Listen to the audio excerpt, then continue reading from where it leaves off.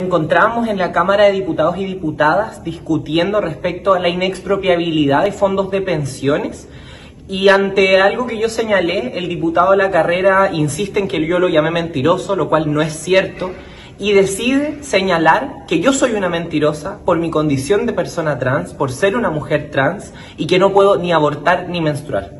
Y eso lo tengo clarísimo, pero eso no me impide ser feminista y luchar por lo que creo justo los derechos sexuales y reproductivos de todas las personas. Y no podemos admitir y tolerar en este Congreso Nacional que hayan diputados incitando al odio, como lo hacen constantemente republicanos, en total impunidad.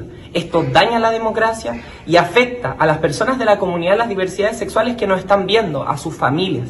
Y este odio es intolerable. Estamos analizando junto a mi equipo acciones legales, por supuesto vamos a enviar a ética eh, al diputado, pero estas sanciones no alcanzan.